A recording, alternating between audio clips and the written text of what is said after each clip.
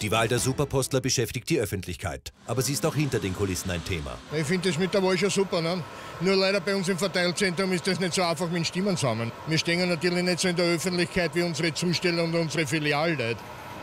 Obwohl, da fällt mir ein, alle, die mich kennen, stimmt's für mich. Die Wahlkarte, mit der Sie einen Opel Adam gewinnen können, finden Sie in Ihrer Postfiliale und auf post.at.